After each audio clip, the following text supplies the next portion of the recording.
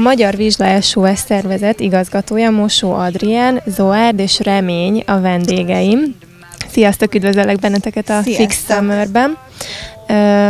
Mondjátok el nekem, mondd el nekem, Léci Adri, hogy mi az SOS Magyar Vizsla szervezetnek a, a lényege? Kiken segítetek ti? Igen, igazából a szervezet neve az a Futrinka Egyesület, és ezen belül vannak csoportok. A Magyar Vizslafajta mentés, a Tacskó, a Német Dog és a nagyon esélytelen keverékeket mentjük, és ezen belül a Magyar Vizslafajta mentés keretein belül került hozzánk remény. Ezeknek a fajtamentéseknek az a lényege, hogy kifejezetten a típusos magyar vizslákat mentjük. Ez persze nem azt jelenti, hogy keverékeket nem mentünk, de igyekszünk ugye magát a fajtát menteni.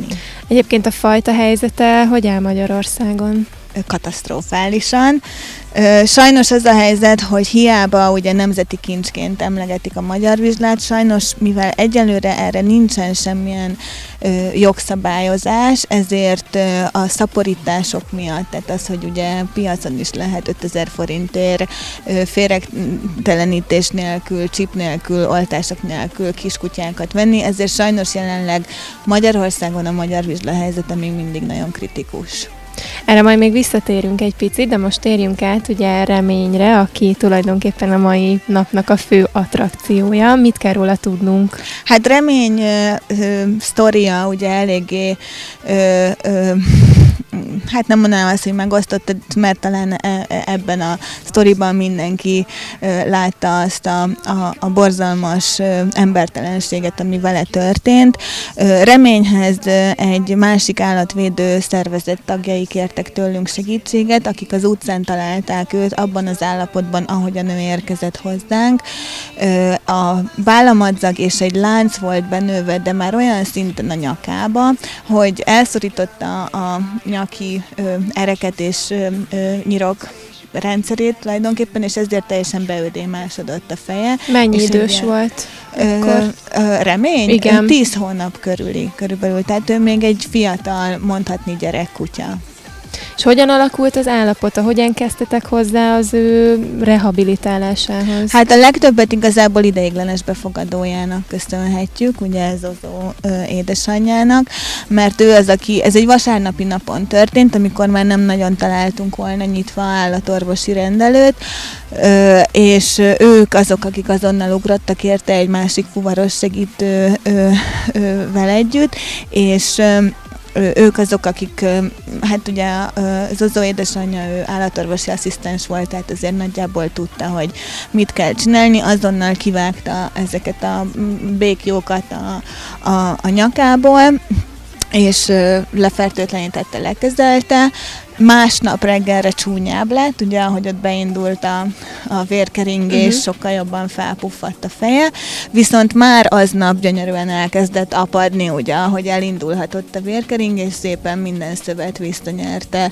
a, a vérkeringés, nyirokkeringést, és gyönyörűen elkezdett uh-huh. helyreállni, szinte egy nap alatt ö, teljesen visszahúzódott, aznap látta állatorvos is, egyébként felvettünk egy jegyzőkönyvet, mert tervezzük, hogy ismeretlen tettes ellen jelentést teszünk. Igen, ez lett volna a következő, amire rá szerettem volna térni, hogy sikerült valamire jutni az ő ügyével kapcsolatban? Sajnos ez uh, ilyen szélmalomharc jellegű lesz, mert uh, mivel utcára tette ki ugye a, az ex-tulajdonosa őt, valószínűleg ugye látta, hogy ú, hát a kutya most már elég kritikusan néz ki, uh, elvitte két-három faluval uh, arrébb, egyéb, őt egyébként Öcsöd uh, utcáján szedték össze, és úgyhogy teljesen ismeretlen a, a kiléte, így a rendőrségen csak ismeretlen tettes ellen tudunk feljelentést tenni, ezt valószínűleg meg fogjuk lépni, hát ha lesz uh-huh. egy nyomra vezető, aki tudja azt, hogy az a kutya kinél volt. Biztos, hogy kerten belül volt, biztos, hogy egész életében meg volt kötve, tehát kölyökkora óta ő láncon élhetett. És most hol tart az ő javulása? Ö, hát Mennyi van, idős most remény? Ö, ez igazából egy három hetes történet, uh-huh. úgyhogy ő, ő most lesz 11 hónapos körülbelül, ez nyilván becsült életkor, mert pontosan nem tudjuk. Ö, ha nagyon-nagyon gyorsan fejlődik. Ez, ez a hihetetlen az állatokban igazából, hogy akár mekkora törés érte őt emberrel szemben, ahogy megérkezett az ideiglenes befogadójához, csóvált, puszítoztott és kedves volt, semmilyen agresszív viselkedés nem mutatható. Az egészségügyi állapota pedig gyönyörűen javul. Igazából Emese az, aki, aki ezért a legtöbbet tesz, mert naponta többször kezelik, Zozó pedig szocializálja. Uh-huh. Igen, ugye az az egyik legfontosabb. Mikor lesz remény örökbeadható? Ö, hát ö, már több jelentkező jelentkezett rá, igazából nemzetközi híre ment az ő történetének, és Németországból szeretnék őt örökbe fogadni, úgyhogy ott várja már készen egy család. Mi már csak arra várunk, hogy egészségügyileg megerősödjön annyira, hogy a német partner szervezetünkön keresztül ő minél hamarabb a gazdájához kerülhessen, ahol biztosan soha többet nem fog még csak lánc közelében sem menni. Ezt ki tudjátok szűrni, vagy tudjátok ellenőrizni valahogy, hogy milyen emberhez kerül egy-egy örökbeadható kutya? Nálunk egy nagyon komoly ö, ellenőrzési folyamat megy, Németországban még komolyabb, hál' Istennek. Ami nálunk van, sokszor egyébként az embereknek ez csípi a szemét, és megisztolnak minket érte, mert nálunk azon kívül, hogy egy kérdőívet kell kitölteni, utána egy telefonos interjún esnek át a gazdijelöltek, majd egy személyes találkozás során döntjük el azt, hogy örökbe adjuk-e nekik a kutyát, akit szeretnének. Nem mindig egyébként a, a jelöltekkel van probléma, hanem esetleg mégsem passzol a kiszemelt állat abba a családba, uh-huh. és akkor ajánlunk mást. De van, amikor bizony úgy döntünk, hogy, hogy nem megfelelőek a mi feltételeinknek, és ezért nem adunk uh-huh. nekik örökbe. Németországban ez még hosszabb folyamat, és hát ugye itt nagyon fontos az utógondozás, tehát folyamatosan nyomon követjük a, az általunk örökbeadott kutyusokat.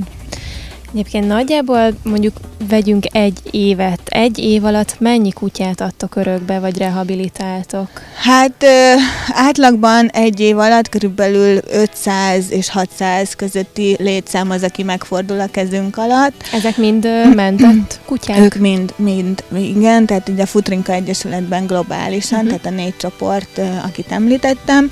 Ö, vizslákból ez körülbelül olyan 2 és 300 ö, ö, védencünk az, aki évente megfordul nálunk, és hát ö, belőlük van, akit Magyarországon adunk örökbe, van, akiket pedig külföldön. Ugye beszéltünk arról, hogy ö, aki, aki reményel ezt tette, valószínűleg fel fogjátok jelenteni. Vannak olyan szervezetek, akik segítenek benneteket ebben, hogy megtaláljátok ezeket az elkövetőket? Hát igazából ez csak a rendőrség hivatalosan, aki ebben lépéseket tud tenni. Ö, ugye van az állatvédőrség, még, illetve egyéb ö, olyan ö, állatvédő egyesületek, akik próbálnak ugye ö, minél inkább a, az állatkínzók ellen ö, tenni. Ö, az ő munkájuk inkább erre is helyeződik ki, tehát nem az állatok rehabilitációja, hanem a kobzások és ö, ilyen rendőrségi vonal, de hivatalosan nekünk a rendőrséghez kell fordulnunk ez uh-huh. ügyben. Hát én kívánom nektek, hogy mielőbb megtaláljátok a tettest, és reményhez pedig további sok sikert, és kívánom, hogy örökbe is tudjátok őt adni. Köszönöm, hogy itt voltatok. Köszönjük szépen.